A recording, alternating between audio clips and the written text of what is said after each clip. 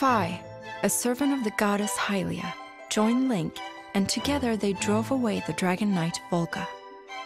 But despite the victory, Girahim managed to slip away in the chaos.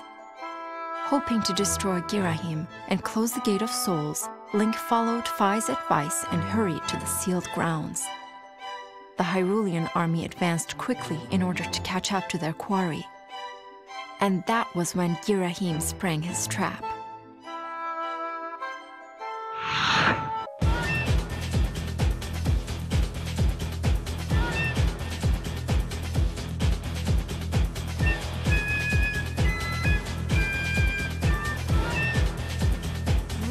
모르는거알렉스야모르